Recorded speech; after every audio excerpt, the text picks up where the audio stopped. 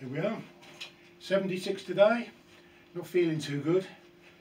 Haven't eaten much for a couple of days, but wanted to have a go at this. It goes.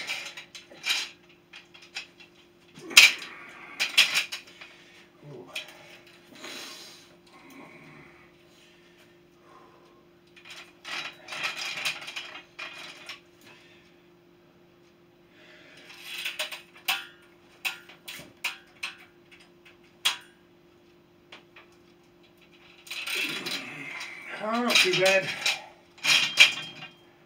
We'll have to work on it a bit more.